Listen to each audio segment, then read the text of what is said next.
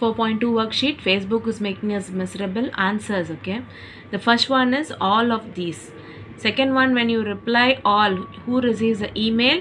Everyone who received the initial email. What does BCC stands for? Bo- blind carbon copy okay? Your email address is representation of you. What is the first part of your email address called? The user name.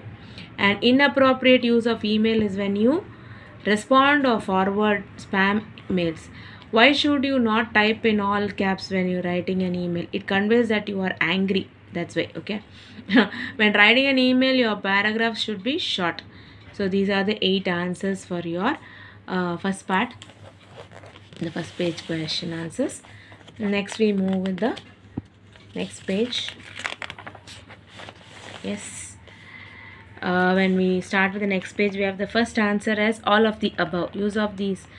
Okay? All of the above. Subject line is used for giving a brief description of the email. Okay? You should dash should review. What is an email? A message that you send receive on your computer. Uh, why is signature line uh, feature in emails is a time saving advantage users do not have to type their name.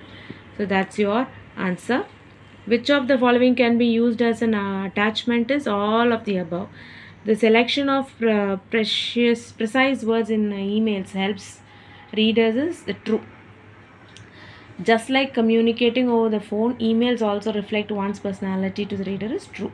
Select the most secure password. The C one you can select.